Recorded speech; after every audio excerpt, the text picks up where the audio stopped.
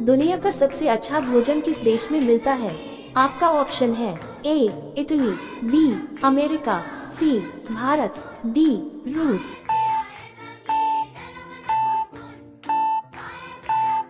अगर आप एक सच्चे देशभक्त हैं तो तिरंगे के लिए एक लाइक सब्सक्राइब ज़रूर करें।